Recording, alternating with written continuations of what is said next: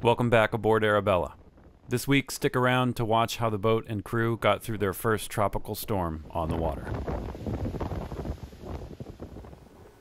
Hurricane Lee is fast approaching, so let's go collect Anne so we have some local knowledge and an extra hand while we move Arabella.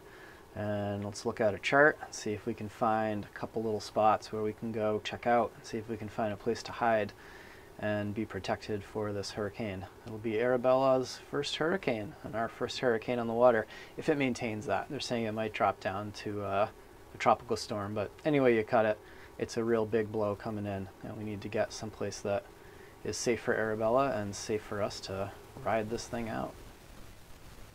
And thankfully we have some local knowledge from Anne and Carolyn and Aaron and we're gonna go try Anne's spot that she suggests, which is out here on North Haven Island.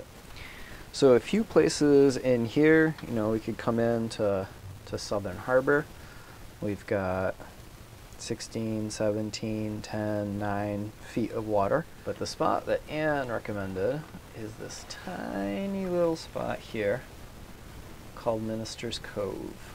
So this is a pretty sweet spot, I think, to ride this out. Now, Anne said that she's been there before and that it has good holding. So we're going to drop anchor. She said there's a couple moorings in here. And as you can see, we've got good topography. So right here, we've got a couple contour lines that this ridge runs. We've got even more cover back here, and we've got more highland over here.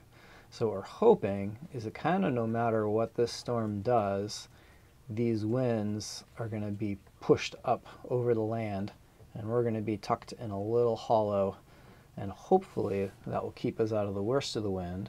It will certainly keep us out of the waves because there's just not enough room in here uh, for it to really develop a nasty sea state.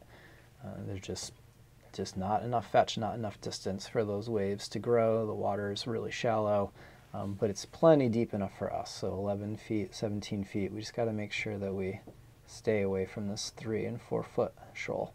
I haven't been to North Haven Island since I sea kayaked around it in 2004.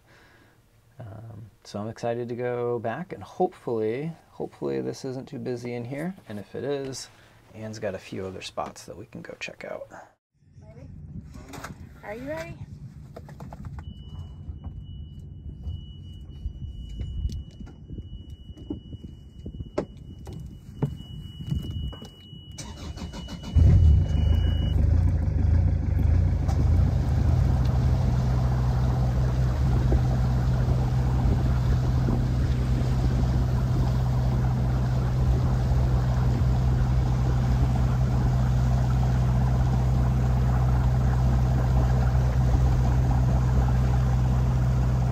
I, I gotta channel my like inner Akiva vibes. This is too much. It's buddy. He's such a good boy. He's such a Oh yeah. These guys are they're moving on. Who knows what they're doing?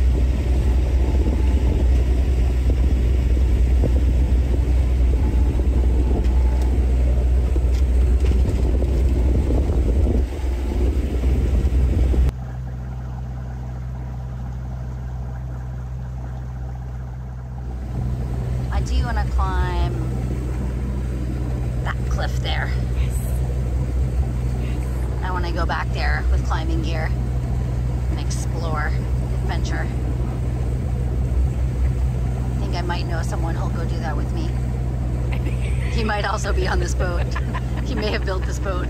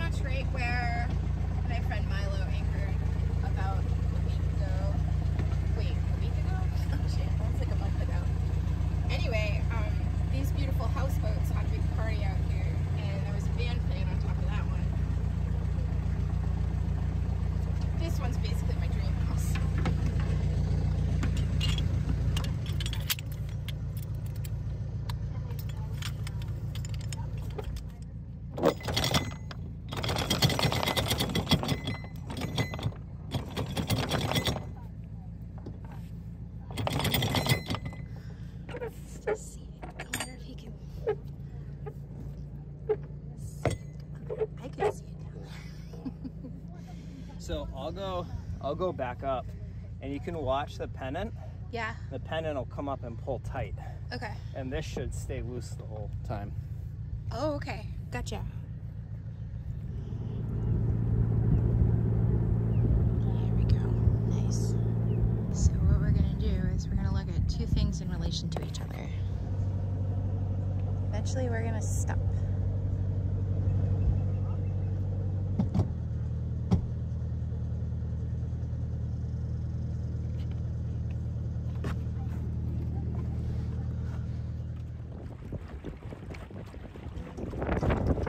Next morning, Steve and Akiva brought Anne to shore so she could catch the next ferry off the island.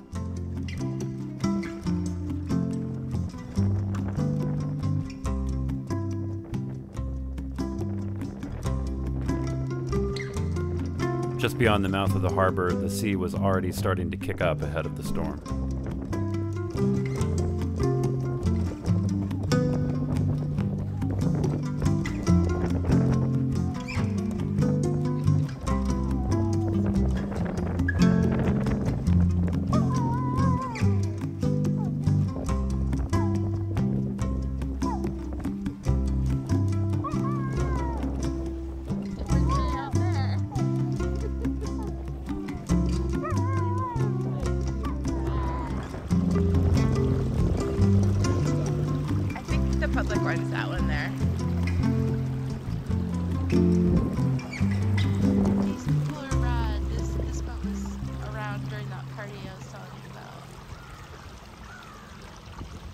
Swinging back to the boat to pick up Robin, they went ashore on the strip of land protecting Arabella to the north, where the wind was forecast to come from. The center of the storm would make landfall in Nova Scotia, about 200 miles to the east. So that's Pulpit Rock that the sailboat is currently passing behind. And Anne was telling us there's a 300 year old osprey nest on that rock.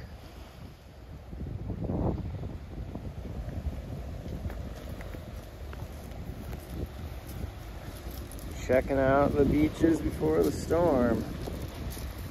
We're hoping that it'll be calm enough where we are to leave in the tender in the teeth of the storm and come over here and check this out. Because this will be on the windward side and should be getting beat. And we will be on the leeward side and it should be pretty calm. Windy, but much calmer sea state. So we got about 12 hours or so before things are supposed to start getting a little rowdy. And we got about 24 hours before things are forecasted to be really bad.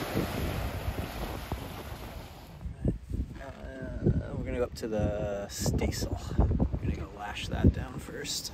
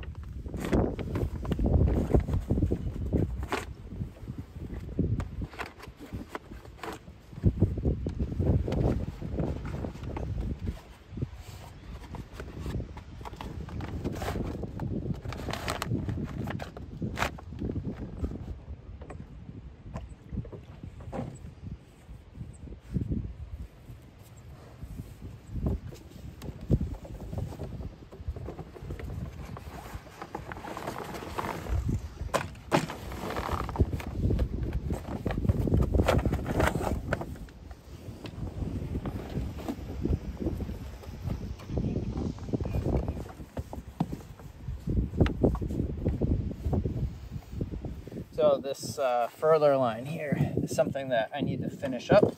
There's got to be leads and a, probably a jam cleat for it. But for right now, it's tied off to the toe rail here really well. That shouldn't run away. We'll keep an eye on it as the storm progresses. One of the big risks is that jib unfurling and sailing is off the anchor. So we want to make sure that we got a couple good wraps up there and that this is tied off nice and tight and that there's nothing for it to chafe on because that's bad news bears.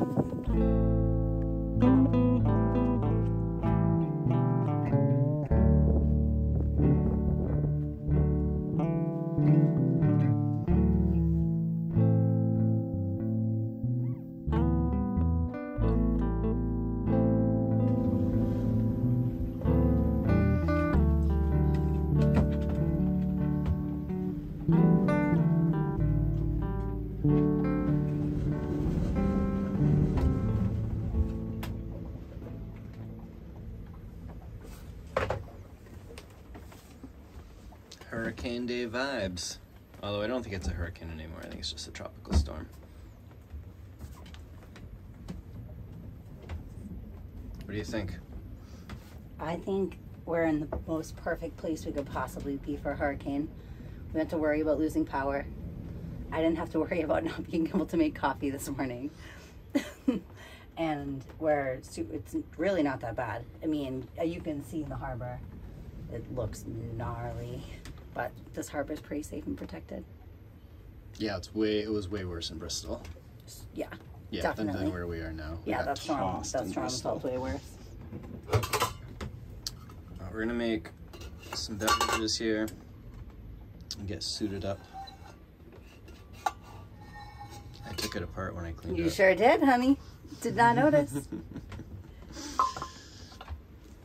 We are monitoring 77. So normally 16 is what you would put on. That's your general monitoring. But we had a couple a boat show up yesterday afternoon with our neighbor on it and the harbor master, and they were running around making sure everybody was good to go for the blow and had what they needed. And they started asking about the boat and where we got it, and Robin was like, "This crazy guy cut down the trees and built it," and they're like, "What?" We know some people like that. You're one of those. um, and they stopped by later in the day and said that they were going to eat oysters and wood-fired pizza, and did we want to go with them and fuel up before the storm came? And uh, our answer was a resounding yes. We will pretty much never pass up oysters or pizza. or pizza, wood-fired pizza. so we jumped in their tender with them and jumped in a black van and headed to what we later found out was the harbor master's house, who also is an oyster farmer here on North Haven. We had a great time. We brought some oysters back, and the harbor master told us to put it on 77, and that's what they monitor here in this particular harbor, and that he would reach out to us and make sure that we were good. And if he could, he was going to try to make it out for coffee this morning, and I don't know.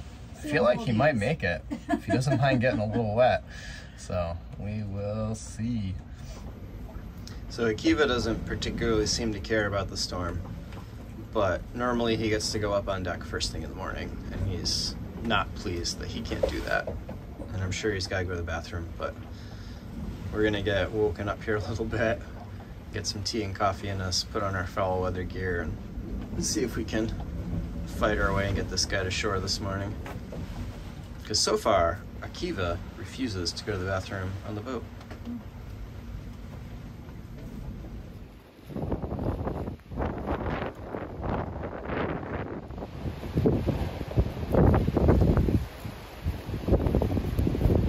As I promised, Bob, running her up on rocky beaches.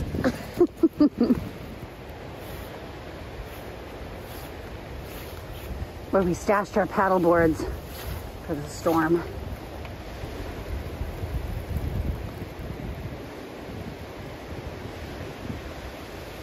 Akiva very much wants these raccoons.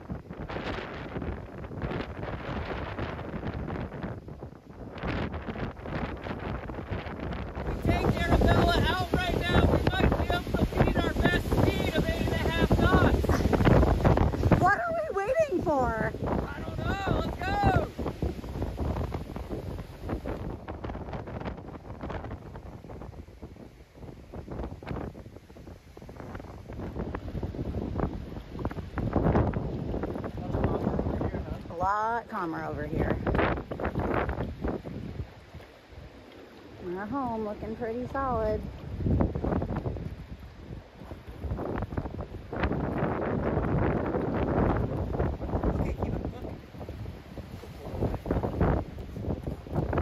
Good oh, boy. Pancakes and bacon and eggs. Good fuel to sit on our butts. I vote for more hurricane days. More hurricane? This is lovely. Yeah, well, this time it's lovely. I know. We might not always be in such a nice spot. That was breezy. That was a gust.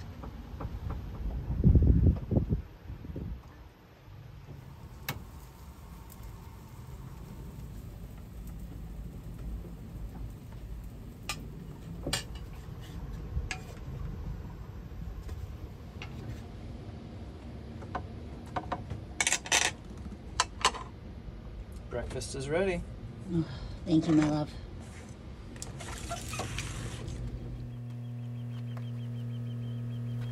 So I think it was definitely sportier when we were in Bristol.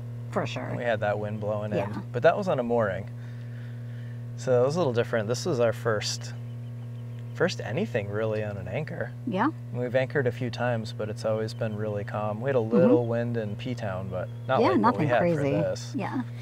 This there was a ton of wind, but it was almost more overhead.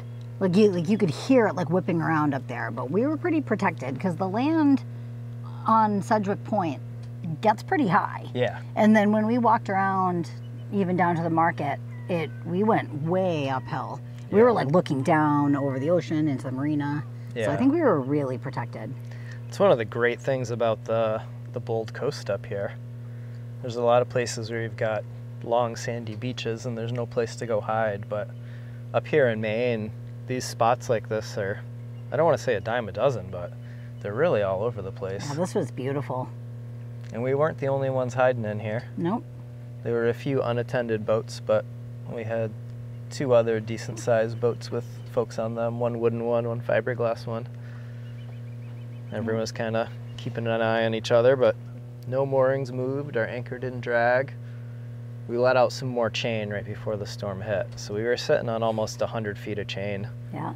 Thankfully, there wasn't many boats in here, so we could have a, a big swing. Everybody else was onto a mooring.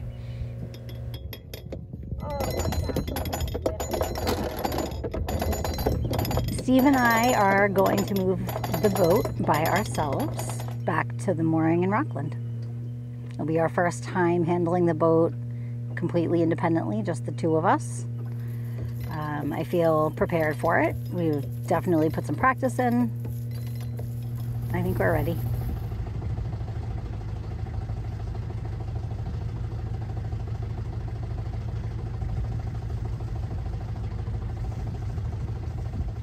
So I'm pretty excited. I've been looking forward to this moment for a long time, and it's never been quite right.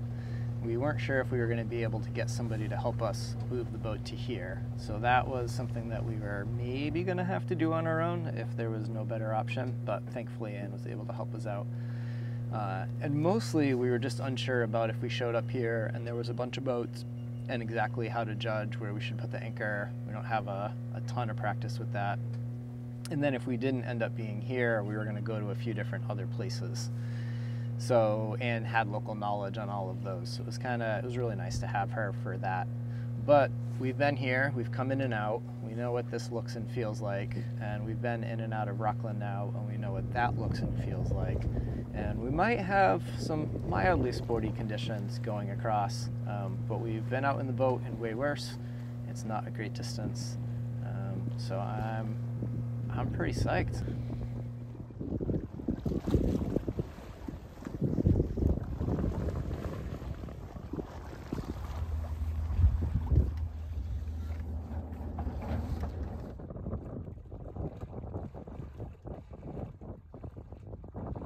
Shortly after Akiva's nap, Steve was standing on the foredeck when he suddenly noticed the furler floating past him. The bronze bowsprit end cap that had come from Victoria had snapped.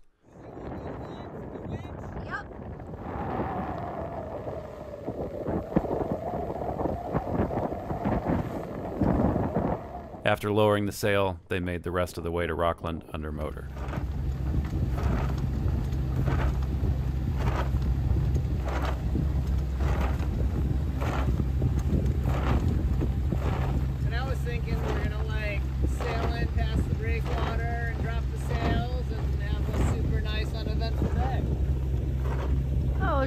Darling.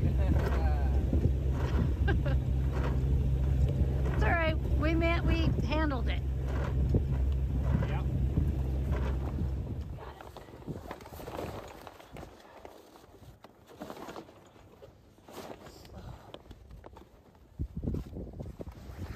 So I'll put an Allen key in here. We'll take this gate out, and then we should be able to lower and take the sail off and get it in a bag overnight until I fix this.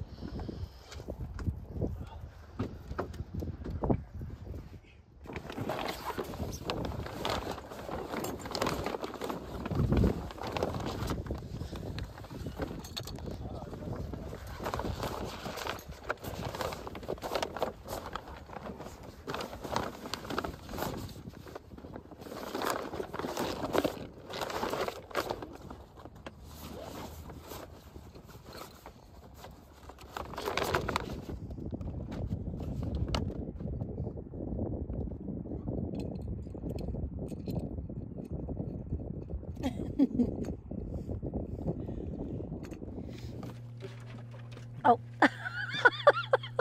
Key was tender. Yep. Dude, we just went for a super long walk. Akiva, we literally just walked seven and a half miles. He's like, yeah, but Not enough? there's raccoons Okay. on the mainland. Let's go. Come on. Come on. Good boy.